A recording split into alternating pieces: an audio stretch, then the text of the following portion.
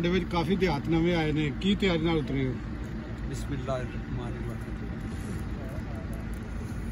सबसे पहले तो ये जो हल्का बंदी हुई है इसमें क्या तरीकाकार इस्तेमाल किया गया है हमारे जहन में पहले भी गुजरात के आठ हल्के रहे जिनमें मैं काफ़ी दफ़ा एम पी ए रहा हूँ उन 2002 में ये आठ हल्के थे गुजरात अब फिर दोबारा हुए एक नई तरज की हल्का बंदी हुई है। और मेरा हल्का सबसे आखिर में बना।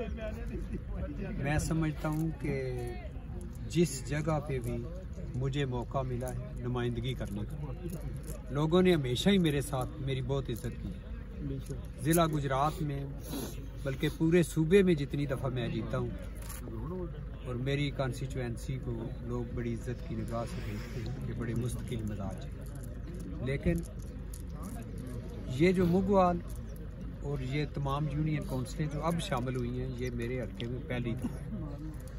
और मेरा यहाँ पे आने के बाद एक तब्दीली नज़र आएगी। वो तब्दीली सबसे पहली ये है कि मैं सिर्फ़ एम अपने लिए नहीं बनता मेरी एम हर आम आदमी के लिए होती है हर गरीब के लिए होती है हर ज़रूरतमंद के लिए होती है हर मुश्किल वाले के साथ मैं खड़ा हूँ। और मैंने कभी ये नहीं सोचा कि ये टेलीफोन किसका आ रहा है। जो भी मुझे टेलीफोन कर ले या मुझे मिल जाए अल्लाह ताला उसकी मदद करता है लेकिन मैं उसकी भरपूर मदद करता हूँ। आज हम यहाँ आए हैं पहले मैंने सुना था कि मुगवाल में मैच है। लेकिन आगे लंगे आए हैं। फिर ये महसूस हुआ है कि शायद कोई इतनी अच्छी जो ग्राउंड या स्टेडियम मुगवाल में नहीं है। सबसे पहले तो मैं इन मासूम बच्चों के लिए फौरी तौर पे इलेक्शन के बाद इनकी स्टेडियम का बंदोबस्त करूँगा, ताकि इनका ये मसला कभी भी ज़िंदगी में ना हो। इसके बाद मैं समझता हूँ कि मुगवाल लेवल पे आप कभी डिंगा जाएँ तो डिंगा के हॉस्पिटल देखें। एक तहसील लेवल हेडक्वार्टर हॉस्पिटल है। शायद पूरे पाकिस्तान में इतना अच्छा अरेंजमेंट नहीं होगा। इधर भी इसी तरह ही अरेंजमेंट होगा ये दूसरा डिंगा होगा मेरे लिए तालियाँ बच्चों के लिए स्टेडियम वाइज और मैं समझता हूँ जब तक एजुकेशन नहीं होती कौम तरक्की नहीं करती। और मैंने हमेशा एजुकेशन की साइड के ऊपर अपने पूरे हल्के में हर यूनियन काउंसिल लेवल के ऊपर हाई स्कूल बनाया। कम अज कम हाई स्कूल ये बागड़ियाँ वाला मेरे हल्के में रहा है। यहाँ मैंने हायर सेकेंडरी स्कूल बनाया था एफ़ ए तक। अगर आज यहाँ मैं ये हल्का मेरे में ही रहता तो आज यहाँ बी ए तक। ग्रेजुएट पोस्ट ग्रेजुएट कॉलेज होता इसलिए कि हम तालीम देंगे तो हमारी नस्ल पढ़ेगी और आगे बढ़ेगी और तरक्की होगी।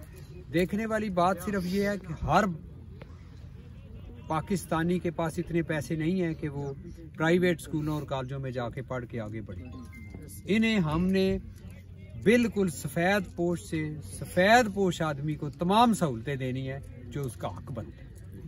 जिससे आम आदमी का म्यार ज़िंदगी बेहतर हो। ये जो तरक्की का पहिया चले और लोग सुकून का साथ दें। मेरी जो सबसे पहली प्रायोरिटी है वो ये है कि इस वक्त पाकिस्तान में लोगों को इंसाफ नज़र नहीं आता। मेरे हल्का इंतहाब में लोगों को इंसाफ मिलना चाहिए। किसी के ज्यादती बिल्कुल नहीं होनी चाहिए। जिसको दुख तकलीफ़ हो उसका पता लगना चाहिए।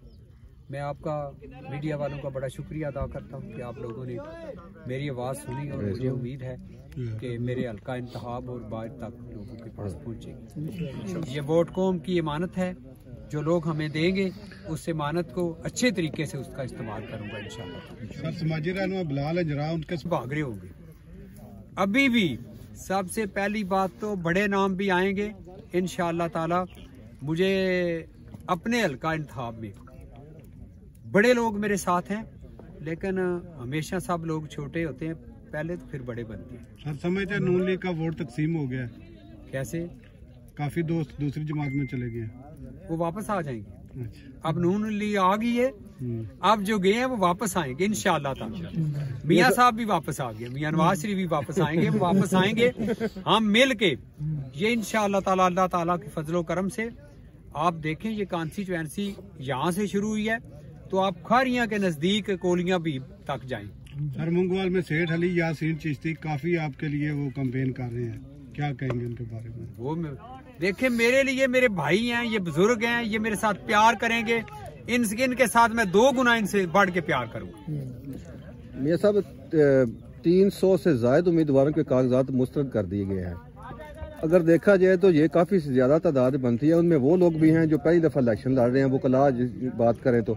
उनके कागजात पे मुस्तरद किए जाए, उनको भी उठाया जा रहा है, उनका पर्चे दर्ज किए जा रहे हैं। जो लोग साढ़े नौ मई में मुलवस है, उनके, ठीक है, उनके साथ तो ये होना चाहिए, लेकिन जो लोग फ़र्स्ट टाइम इलेक्शन लड़ रहे हैं वकला हैं, उनके साथ जो किया जा रहा है, आप उसको किस नज़र से देखते हैं? देखिए, बात ये है कि हम भी गए हैं नॉमिनेशन पेपर जमा करवाए।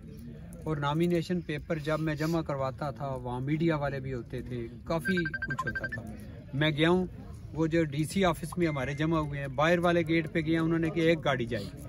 आगे मैं गया उन्होंने कहा, ये भी गाड़ी खड़ी कर दे, हम चुप करके चले गए अगर हम उनके साथ इस तरह का बिहेव करेंगे तो फिर आगे से यही तो रखनी चाहिए। इसलिए मैं नहीं समझता कि वो बगैर वजह के किसी के कागजात नामजदगी जो है वो रिजेक्ट होते हैं। अब देखें ये यहाँ से जो काम मेरी कॉन्स्टिट्यूएंसी से जो काम नाम कागजात नामजदगी रिजेक्ट हुए हैं हर की कोई ना कोई वजह।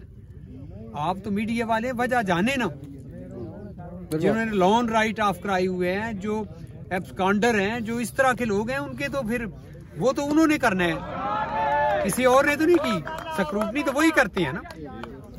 तो जो स्क्रूटनी में अगर कोई ऐसी चीज़ इन्हें नज़र आती है, आप देखें, आपके आइन में बासठ, तिरसठ की शिक में जो भी किसी हमारे कागजात में वो कमी होगी, वो उठ जाएगा।